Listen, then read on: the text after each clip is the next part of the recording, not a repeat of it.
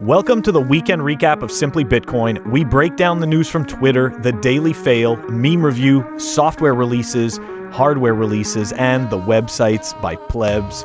Joining us today, very special guest, fellow Bitcoiner. He is the ambassador at Satoshi Labs and Trezor, and also contributor to Bitcoin Magazine, Joseph Tětek.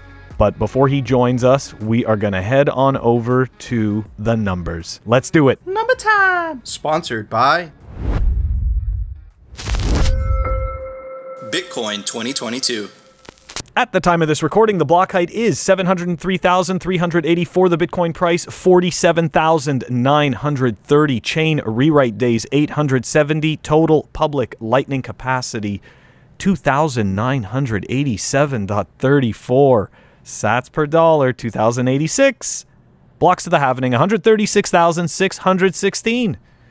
So close, Nico. So close to the 3K.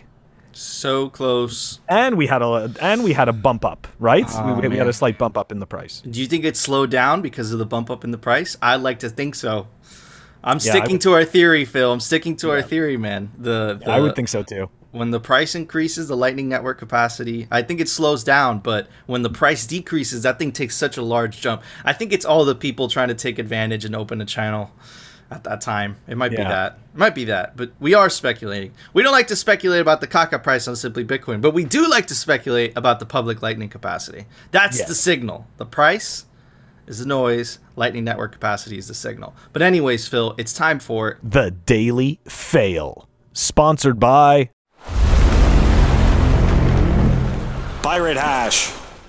Know, we're always we're always hearing we're always hearing about you know how they Federal Reserve, right? All these agencies, you know, they're just looking out for our best interests, right? They're all looking out for our best interests. Anyways, uh, Mike tagged us in this. Goes some material for the show. Indeed, it is material for the show and uh, we're going to dive right into it. Here we go. Just in, Federal Reserve Vice Chair Clarida traded millions one day before Fed Chair Powell issued an emergency pandemic statement on February 28th, 2020. Hmm. Interesting stuff, huh? They're looking out for your best interest. I mean, he's looking out for his interests, of course, you know, but he's definitely looking. He's looking out for yours. That, that's why he dumped his bags right before. you know, he wants to make sure you can get the best price, you know, and have all the liquidity you need. Anyways, okay, let's talk about this. So we've got an article over here from Bloomberg. Clarida traded into stocks on eve of Powell pandemic statement. Yes, we already took a look at that. Supposedly, the Clarida trades were pre-planned, balancing Fed says. Yep, of course, right? And and let's be honest, like who's who's auditing the Fed? right? Who's the independent auditors? They say whatever they want. All right, let's go. Fed Reserve Vice Chair Richard Clarida traded between 1 million and 5 million out of a bond fund into stock funds one day before Chair Jerome Powell issued a statement flagging possible policy action as the pandemic worsened. His 2020 financial disclosure shows. Vice Chair Clarida's financial disclosure for 2020 shows transactions that represent a pre planned balancing to his accounts. A Fed spokesman who was speaking on behalf of the Vice Chair said the transactions were executed prior to his involvement in deliberations on Fed Reserve actions to respond to the emergence of the coronavirus and not during a blackout period. The selected funds were chosen with the prior approval of the board's ethics official. I that's that's the kicker right there. Listen to that, right? The selected funds were chosen with the prior approval of the board's ethics official. This is this is all just wordsmithing and circle jerking, right? When you when you read this, you're supposed to think, "Oh, look, they did everything by the book and they were transparent and there's nothing wrong here." It just so happens that they sold the top of something right before the, you know, the, the worst pandemic in the last 100 years. Lucky people. The transactions are likely to further heighten scrutiny of the ethics, rules, and governance of the U.S. central bank after two regional Fed chiefs announced their departures following revelations about their trading activity last year. I think there's, don't get me wrong, but there's there's more to this, right? Like we're just seeing the cracks. Like these are the people that they're throwing to the wolves right now. Okay, mm-hmm. this is like when we see this type of stuff, people sit there and they start to think, look, they're cracking down. Look, they're they're busting people. No, no, no. This is a show, and we're watching them pull out the people that they've pulled in front of us to say, look, this is his fault. The, the so the other two regional Fed chiefs, we also covered that. You know when that that came out, and that was damning because essentially, the Fed was putting money into the the fake money that they created. They were putting money into the assets that they already owned. So essentially, mm-hmm. they were shitcoiners pumping their own bags. Translation. Yeah, exactly right. Okay, so we're going to keep going here. The Fed spells out clear guidelines for trading activity by policymakers. It's fantastic. Just make these guidelines for them. Its voluntary guide to conduct for senior officials says they should carefully avoid engaging in any financial transactions, the timing of which could create the appearance of acting on inside information concerning concerning Federal Reserve deliberations and actions. Okay, so look, we're going to show that most of the people that are in the Federal Reserve come from the major investment houses and the people from the Federal Reserve go back to the investment houses. That we're going to continue on that in a second. So this BS that I just read to you it, that's exactly what it is. It, it, it, it's complete garbage. It's an utter lie. Okay? Again, it, it's just a show.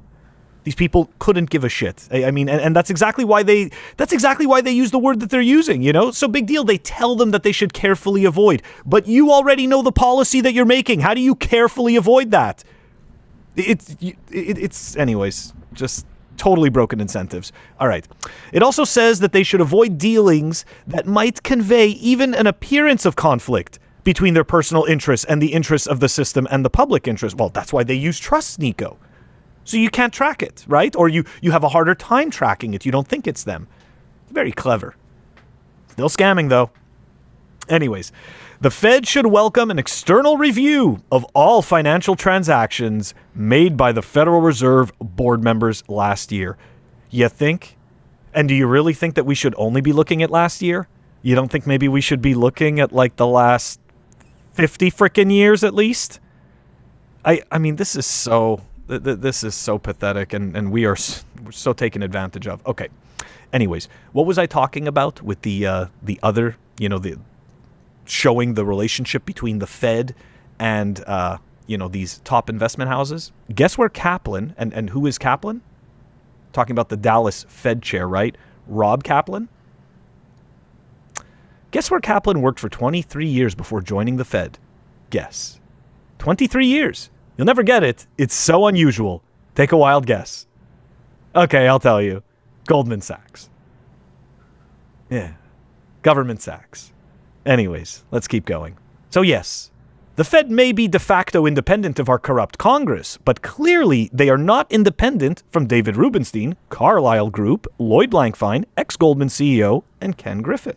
Citadel Investments. Continuing on, uh, here's a comment uh, from a you know, fellow person on Twitter uh, at Sesfartle. Um, how you Americans allow the same people to be regulators and parties in the financial markets is beyond me. And Rudy Havenstein responds back Nothing but revolving doors here. Look at Bernanke. Went to Citadel and PIMCO. Geithner runs Warburg Pincus. A lot of people don't. I mean, it's different if you're in a financial circle. You'll know who Warburg Pincus is. But if you're not, you'll have no clue who these people are, and you'll have no idea how much wealth they control, okay, around the world. Anyways, Fisher is at Barclays. Yellen and Bernanke are giving six figure speeches to the guys they bailed out nauseating. And he is absolutely right. Nico has shown, um, you know, what Janet Yellen got paid. I don't know if it was just last or two years ago in speeches. I, I don't remember even because we've shown so many receipts at this point. These people are scumbags. It's a revolving door. We are all being played. Okay, and as Nico showed in the last uh, in the last video or the video before that, the banks are answer. Uh, sorry, the state is answering to the central bankers. This is scary as hell. Like, where'd my country gone? Like, that's it. it's it's done. Like the bankers own it. And this is this was the plan all along. This is the plan for the whole world because the central bankers truly believe that they are better architects than anyone else and they are more fit to run this world than anyone else. And we are living through the nightmare that they think is great. They think this is great. You having fun? It's definitely great to the to the elite group at the top. And you know that that was was amazing fail fail. And, and i think look it just points out you know more information is coming out right? We covered a couple weeks ago essentially how how damaging it was. Essentially, these the central bankers knew um, what assets the Fed was going to inject money into, and conveniently, those assets were assets that the Fed already owned. So it's like they were pumping their own bag, but at the same time, they're looking at their citizens, and Yellen's looking at their citizens and saying, "Listen, we want to monitor every single one of your six hundred dollar transactions." But at the end of the day, they're playing by different rules, right? It's rules for thee, but not for me. Now, if you go back to the 2008 financial crisis, right? Essentially, Bernanke went to President Bush and said, "Listen, if you don't give me one trillion dollars right now, the whole economic system is gonna is gonna fall." Right? Like, so who's really in charge, right? And the the the thing that Phil was referring to was a couple days ago when I played you guys a video where you have an elected senator asking Jerome Powell, an appointed central banker that wasn't elected by the people, whether the United States of America would ban Bitcoin or not and everyone was celebrating on Twitter, and I was like, wait a second. Why is our elected official asking a central banker whether they're going to ban Bitcoin or not? And everyone seemed to miss that. Everyone was celebrating on Twitter, and I was like, wait a second, guys. This is messed up. And this goes back to, and I've said this before on the show, but it was a long time ago. The United States of America should really call be called the United States of the Fed, because it's not the United States of America right now. Essentially, you have Wall Street in cahoots with the central bank. You have the central bankers going to work at Wall Street. It's a revolving door in DC. And for the first time this year, they've gotten the fiat monetary experiment has gotten so corrupt that we've gotten to the point where the first time in history we had uh, uh, the head of, of the Fed for the first time moving to the U.S. Treasury, to the head of the U.S. Treasury. And I'm talking about Yellen. That's never happened before. So she knows the inner workings of the Fed, and I'm sure she's going to use that, you know, that knowledge of how the how the money printer works, right, to essentially get some of that money printing into politics. And you see this lately with the 3.5 trillion dollar infrastructure bill that no one's talking about how we're going to be able to afford. The United States is 29 million trillion dollars in debt. So now we're going to just where's this money coming from? And then this goes back to if I spend all my days working right? How crazy is it that there's someone in DC that could just press the, the print button and create the money that you spend your time, your precious, uh, your most precious resource, slaving away for? Right? Mm-hmm. This is wrong. And if you compare that to Bitcoin, right? Doesn't matter if you're the emperor of Africa, right? Or the king of Britain or anywhere, right? You still have to spend the same amount of electricity as everybody else just to make that said Bitcoin, right? Which system is more equal to you, right? Anyways, uh, Joseph, what are your thoughts on this? Yeah, sure. Like uh, the central banking, it essentially is no different from uh, centrally planned systems in Soviet Union or anywhere else in some communist state so uh, the central bank basically, or the government, along with the central bank, uh, defines what money is uh, via legal tender laws. Then they issue bonds and treasuries on which everything is based. Basically, they issue licenses to commercial banks and basically tell them what to do and uh, issues basically like a Cantillon effect licenses to uh, basically get fed of this system. And the rules change all the time. Like you said, uh, there was uh, QE. It was supposed to be like 600 billion at first. Now it's in trillions, and it's like uh, QE for eternity. So like it's totally corrupt, and the incentives are such it's going to get ever more corrupt uh, for for eternity, and everybody is paying for it. Like uh, yeah, it benefits like not even the one percent maybe and everybody else basically pays for it in terms of wasted capital, wasted time, uh, high time preferences, even worse. So yeah, Bitcoin is uh, something that gives me a lot of a lot of optimism for the future, because for example, Austrian economists uh, were aware of this problem of fiat money and central banking even before Bitcoin, but there was no way out with Bitcoin, we finally have a way out. We finally can see this light at, at the end of the tunnel, and we sort of know what's going to happen as fiat collapses and Bitcoin takes over. Amen, man. It's it's it, it's crazy in a world full of darkness, right? You know, the honey badger, Bitcoin, right, provides hope, right? And I've I've spoken to many Bitcoiners, and even with every cra- all the craziness happening right now, they're all bullish on the future. And of course, that's because they're protected by the orange force field that comes with taking the orange pill. But Phil, uh, there was no, no, no. It's time for oh, The Daily Meme Review, sponsored by. Citadel 21. All right, everybody, the meme for today. First one is brought to us by the legendary Labrahodl 10. Get off zero and DCA Bitcoin. Bitcoin at 4K. I think he's talking about no coiners. Bitcoin at 4K. Bitcoin at 48K. News waiting to buy lower.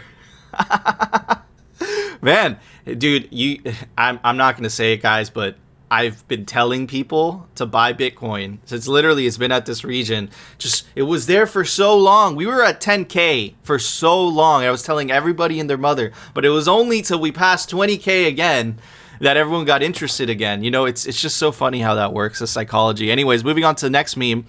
It's by Nakadai underscore Mon, definitely fellow plebe. You'll own Bitcoin, you'll be happy. And it's Klaus Schwab. He's an evil guy.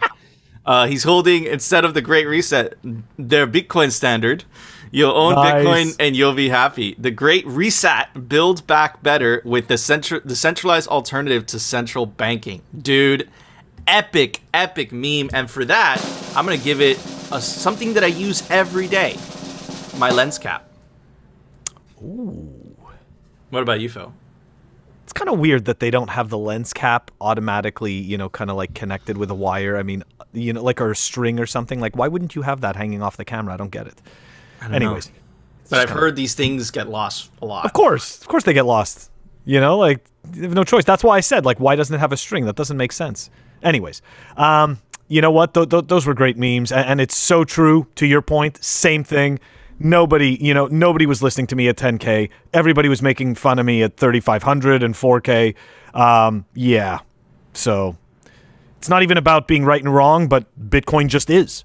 You know, so you're wrong because Bitcoin is.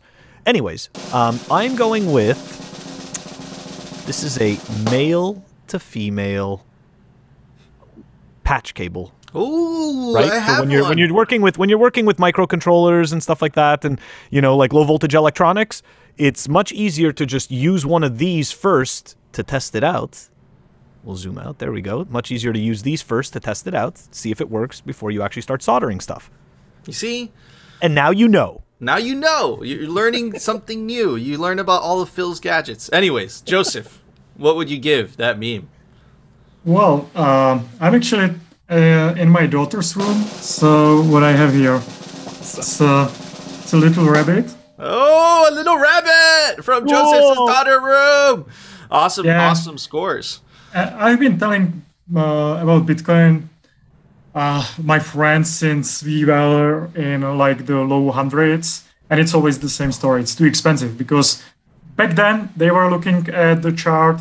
It was at like ten or twenty dollars just a few years before, so they were waiting for twenty dollars. You know, and it's the same story always. Yeah, so uh, it's always too expensive, and it's not going to get better.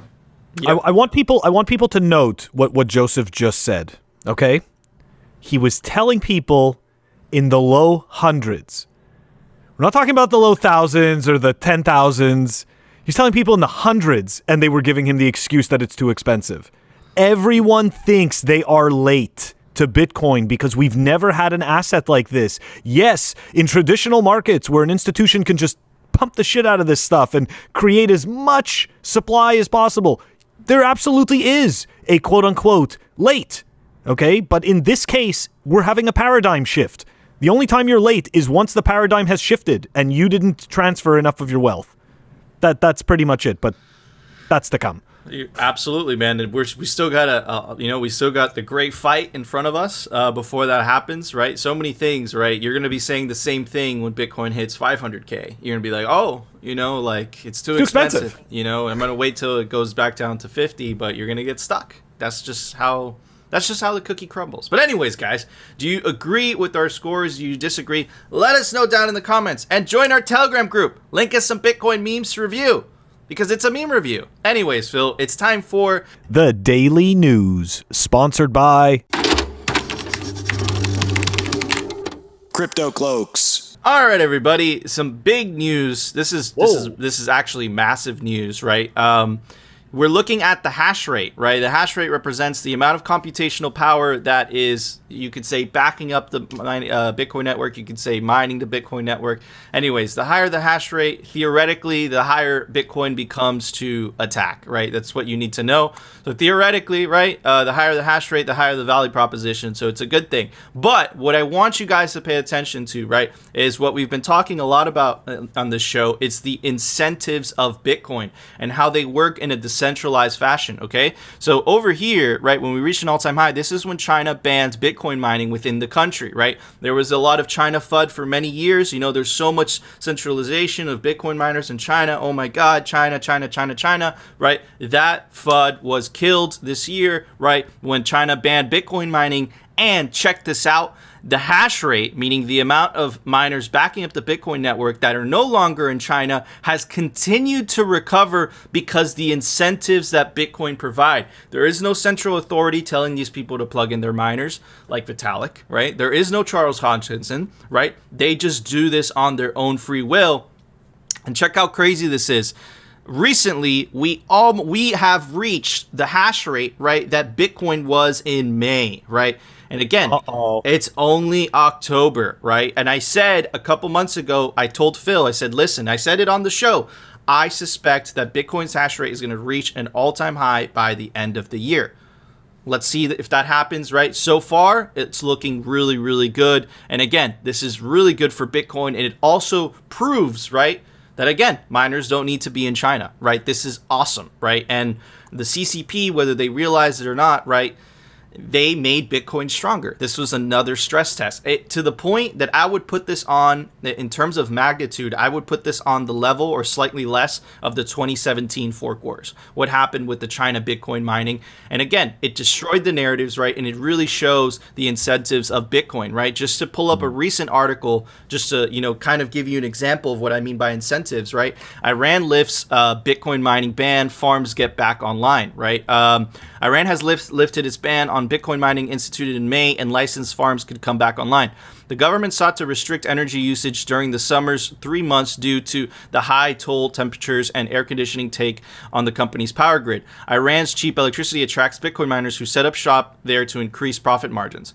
Iranian Bitcoin miners have been given the green light to spin up their rigs back online, the Iranian International reported. Since the beginning of the summer, mining operations had been at a halt over concerns that the country's power grid wouldn't be able to handle the extreme heat months. Only licensed farms are allowed to come back online. In May, here's the signal, guys, pay attention. In May, Iran's former president Hassan Rouhani announced a ban on Bitcoin mining that would last only until late September in an attempt to restrict mining farms' energy usage, right? But again, you have a totalitarian country, right, that, you know, went from banning Bitcoin mining, right, to allowing it again. Why? Why is that happening? Why is that happening also in Venezuela, right? The incentives of Bitcoin. Why is that happening in El Salvador with the volcanic energy? The incentives of Bitcoin. Why have why has all those miners moved to Texas, Kazakhstan, Canada? The incentives of Bitcoin, right? And this all happens, right, without anybody at the top paying any of these miners. These are just entrepreneurs that say, listen, I have an opportunity to make money mining. This is what I'm going to do. And this is what you're seeing on a worldwide scale on every on each individual making their own uh, decisions to mine, right? So incredible that that has happened. Phil, what are your thoughts? I my you know what I I'm just I, I'm just so amazed that China couldn't kill Bitcoin. I really am, man. I'm just. It, it, don't get me wrong, but we needed that to happen, right? We needed a nation state actor to do something stupid like this to show to show the entire world just how little power they have against a system like this, where personal freedom, you know, personal monetary freedom, is is part of the incentive. Um, I was not expecting that spike uh, in the uh, like. I, I, had just recently. I feel like I had looked at the hash rate like maybe two weeks ago or something. That's a massive spike in one day. And I, you know, I want to go back to that. Uh, you don't have to show the article, but the, you know, in, in Iran that they simply closed, they, they simply had shut down the mining operations for, you know, for two months. And, and look, these totalitarian governments, at the end of the day, the smart ones, right? They are going to figure out that, hey, we even even if we don't agree with Bitcoin's freedom proposition, okay, it's still better for us to be a part of that Bitcoin ecosystem. China doesn't get it, and I think China's just going to suffer like crazy. And this is the proof. I mean, Bitcoin barely sneezed. You know, I mean, this is to me like I, I thought that that was I, I, I thought that that was hilarious that that's all we dropped after after China had done that and now take a look now the hash rate's right back up there you know the Iranian government gave a you know gave a green light to the you know the licensed miners and maybe that contributed to that nice little bump up that we see in that last line. I think that you know, and they're really, and they announced a ban a couple days ago again, right? So it was a ban on Bitcoin hmm. mining. It's a ban on Bitcoin transactions within the country. And think about this, guys: the Bitcoin hash rate and the Bitcoin price doesn't care. And this is one of the most powerful countries on the face of the planet, and the honey badger doesn't care, right? Anyways, Joseph, what are your thoughts? Yeah, it's uh, absolutely amazing that we have like a globally used ecosystem that loses half of its uh, critical infrastructure, and you wouldn't uh, notice basically because it kept on working. Uh, every block, every 10 minutes, another block. Uh, transactions were confirmed, so everything good and uh, it's coming back. It's coming back in a few months uh, based on the incentives, like you said.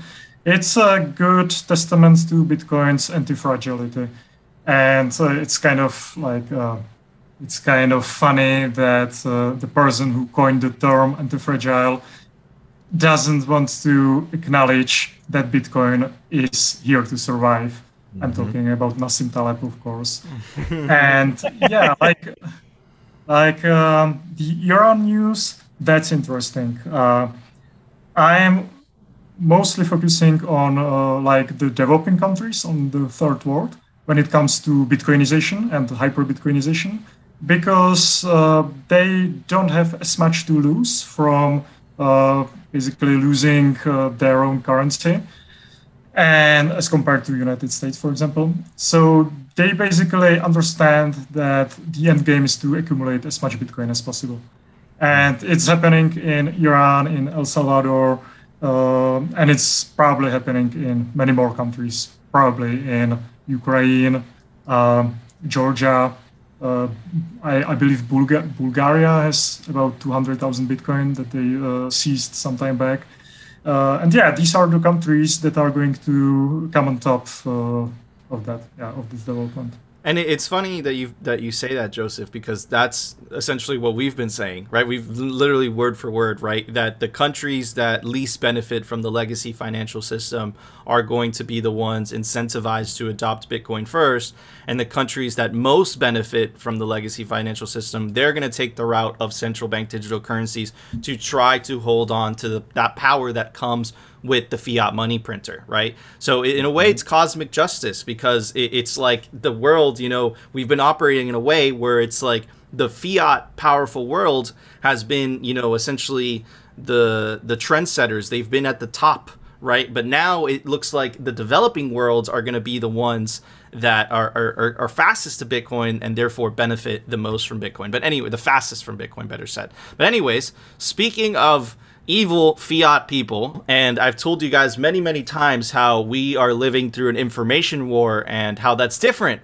than a kinetic war. Why is it different? Because we, no one has to get shot or die, but in an information war, it's a battle for people's minds, right? And on the internet, here's the thing the Bitcoiners rule. The only place where, you know, the, the fiat people have any control is control of the legacy mainstream media articles and they have some control of some governments around the world. But check this out, right? This poll by the IMF, I, I think they shouldn't have done this, but anyways, better for us. Uh, they say hashtag crypto poses new challenges to financial stability. What are you most concerned about? Um, you know, 12% said consumer protection, illicit transactions, 6%, impact on climates at 5.6%.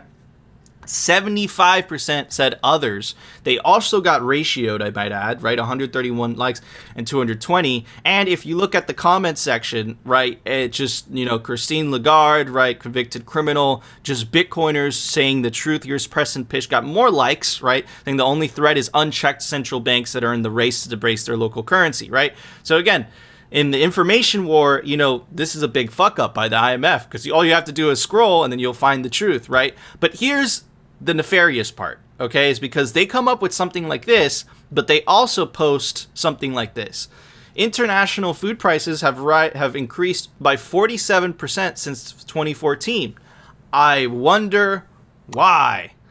I wonder why, right? Um, and if you scroll, right, again, you have Bitcoiners, you know, just posting the truth, right? And this is important because anyone that sees this IMF tweet, right, most likely you're going to check the comments, and guess what you're going to find in the comments, right? You're going to find a lot of Bitcoiners fighting that good fight, right? Saying out the truth, right? So again, this is evil because what they're doing, it's what Phil has said, right? They created a problem, but they're also trying to provide a solution, right? But their solution is going to just create more of the problem because their only way to fix whatever it is they're trying to fix is to print more money, which is going to create even more of a Cantillon effect, which means the people at the top of the money spigot are going to benefit the fa- the most, they're going to benefit the quickest, right? And the people in the middle and the people on the lower end are going to get hurt hurt the most by uh by the fiat money printer, right? So fiat is like it's it's fucking evil. It's stealing from the poor and the middle class to give to the state and the extremely wealthy. That's how it works, right? That's the scam. But anyways, Phil, isn't that glorious, bro? Man, I, I just if you don't if you don't mind, can you please uh, pull up those two articles again? Just I, I just I just want to I just want to point something out because I I can't help it. Okay, so look at what they use, right? Financial stability. So crypto poses new challenges to financial stability. Could, could you go to that next the, the next one you showed? Yeah, absolutely. The, the next screenshot. Okay. Crypto poses a threat to financial stability. I want you to think about that. That is such disingenuous shit. Are you kidding me? I just want to point out, what if you bought Bitcoin? Sorry, Phil. What if you bought Bitcoin in, tw- in 2014? Huh? You'd be doing great. More, much more than 47%. You'd be doing a whole lot better. You know what? You'd be doing a whole lot better, okay, than if you put your money into the stock market, than if you put your money into a savings account, and you definitely beat inflation and cost of living expenses, and you probably did better than the crappy raise you got from your employer that tries to, you know, mind screw, you know, mind screw you into thinking that, you know, you need them more than they need you. You know, but but again, like this is this is the the sickening part about this whole thing, right? They create these they, they create these narratives that try to indicate that things are predictable they are in control and everything is going to be okay because we're monitoring the situation. But then as you showed in that next screenshot right in that next uh, article look at the food prices. This is not financial stability. This is an illusion. It, simply put like that that's all it is. Anyways Just- they're just- insane. They're insane and we win so we win. We win. it's just a matter of time. That that's all. Joseph, what are your thoughts? Yeah, the whole idea of like inflation targeting, it's totally nonsensical from economic perspective because as um as the production increases, as the technology improves, we should see uh, falling prices basically in basically everything. Like for example, Jeff Booth argues in The Price of Tomorrow, excellent book. Uh, so and yeah, like we don't see all the problems in the CPI indexes or you know the consumer price indexes because a lot of times the manufacturers uh, choose to shrink shrink the package. It's called shrinkflation, right? It costs the same but it's smaller. Or I don't know how it's officially called, but I call it cr- crapflation because uh, uh, the ingredients get crappy in, for example, chocolate and Yeah. all kinds of processed food. So, um, looking at the price increases is just uh, the tip of the iceberg. The problem is everything is getting crappier and smaller and, and pricier as well. So, yeah, like uh, fiat money totally erodes uh, the whole economic structure. And uh, when we say Bitcoin fixes this, it means uh, getting our economies in order, getting our world in, in order, and uh, just being prosperous, healthy, and happy. And it's also kind of funny what kind of food they put up on this index. It's cereal and vegetable oil, which is like the worst kind of food you can actually eat. It's not there. There's no beef, like uh, because beef is uh, increasing actually uh, much more in price mm-hmm. Uh, because you cannot actually, uh, you know, uh, it's not as highly processed and manufactured in factories. So that's also part of the agenda. They want us to eat crappy food more and more. And Spec- for example, yeah. specifically, they want us to eat bugs. Not even kidding. the World Economic Forum. Bugs. Bugs. um, if you don't want to eat bugs, buy yourself some Bitcoin. But anyways, uh, Phil, check this out. I mean, listen, guys, I'm going to get into a touchy subject, but we are simply Bitcoin, so we do not censor ourselves. However, we do have you know the ambassador of Trezor here, and I want to talk to him about it, right? So let me pull it up. Let me pull out the tweet, right? This has been happening for a couple months now, and this was a reaction by Coldcard, specifically by NVK, right? Um, Passport um, and Zach Herbert essentially took some of the code from Coldcard and they built on top of that. They came out with their own hardware device. Um, that's kind of like how open source works. NVK did not react well to that, right? So he changed the the Coldcard license, right, from it's still open source, meaning you could still build on top of it privately, but you can't sell anything commercially off the new license, right? So if you take Coldcard's uh, firmware, right, uh, you can't just take it and then use the firmware, use it to build something, and then sell it. Even though I might add, right, and here's the new uh, proprietary clause if if you want to check it out yourself. Even though NVK himself essentially is guilty of what it is he's accusing Passport of, right? Uh, check out this tweet by Shishi. A lot of people don't understand where Coldcard got where it's uh, what's under its hood. Started GPL version 3, same as Trezor. If Trezor wasn't GPL version 3, Coldcard would not exist. And mm-hmm. here's a screenshot of a conversation. Of course, it's open source because Trezor code is up and you use it all over the place. I don't mind. This is how a Bitcoiner should speak, by the way, because it's open source, right? Open source is beautiful because mm-hmm. you could just build on top of other people's project. That's how Seed Signer became a thing as well, right? That's one of the beauties of Bitcoin, except the fact that you named mod Trezor crypto to mod cryptocurrency and Trezor crypto to crypto. It, it is it, is it so hard to acknowledge the work of others you build on? It's great to have a library with so many projects contributing to it. Yes, it's GPL version 3, and thanks for the good code we built on. The credit is read on Mod Crypto's README. Let's keep working together to keep the community secure, report all the rugs from our fork too. The repo rename was totally unnecessary, and so was renaming the files. It makes harder to review the changes and collaborate. Okay, so whatever your thoughts on this are, right? Um, I think it's shady that cold. And listen, I love Cold Card. I, I, you know, I've used Cold Card. I think it, they have a great product, but I think it is sh- shady from them, right? Specifically NVK, right, to react so harshly to a potential competitor, right? Um, like Passport, like Zach, um, the CEO of, of Foundation Devices, right? I think I think it was sketchy of them to react in a non-capitalistic manner, right? Because normally in how you would react to that is like, okay, I have to make the cold card better because now I have a new competitor on the block. But instead, he kind of used a form of censorship, right? That is a staple of the fiat world, but is not a staple of the Bitcoin world, right? So very strange. Anyways, I want to get um, our guest thoughts, Joseph, on this. What are your thoughts on this, man? Are, are we crazy when we say this stuff? Of course not. Um, it's not really new. Like the original tweets are from 2018, so it's been discussed back then. But um, well, everybody can do what they want to do, basically, and the community should decide whom to trust. Trezor has been built on on the idea of open source, on the philosophy of open source since the beginning, since 2013. And everything Trezor does, be it hardware, firmware, or the wallet like Trezor Suite, everything is open, everything is free for everybody to use in any way. And yeah, uh, the competition has used it a lot. And we are actually grateful for that because they are making uh, the environment safer for everybody. It's if somebody wants to choose some other hardware wallet, that's fine. But um, the nature of open source is to give back to the community as well. But that's up to their own moral standards. You know, we are not going to sue anybody. We are not going to, or we actually cannot even sue anybody because we uh, have these open licenses. But uh, you know, uh, let the community decide whom to trust. You know. Mm. Absolutely, Phil. Any closing yeah. thoughts?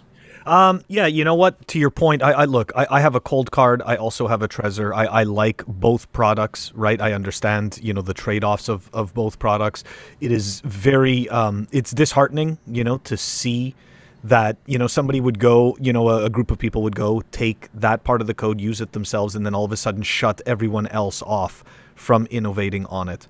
Um, to me, um, that just seems like a just seems like a very fiat mindset kind of thing to do, right? Like you're, you're trying to like insulate your you're trying to essentially insulate your income, which okay, to each their own, like Joseph said, right? Uh, I mean, you know, we're not going to do anything about it, but like it just it shows to in my it just to me it shows poor sportsmanship and it shows insecurity you know like if you're you know i mean if you were building a product to build a product and to and to really innovate on it and your earnings are in bitcoin so technically you should be able to take that lower time preference point of view and leave it open and instead of looking at it as competition entirely realize that it's also cooperation. You know the you know somebody else is going to make a better product and it's going to push you to you know to look at yours and say you know what?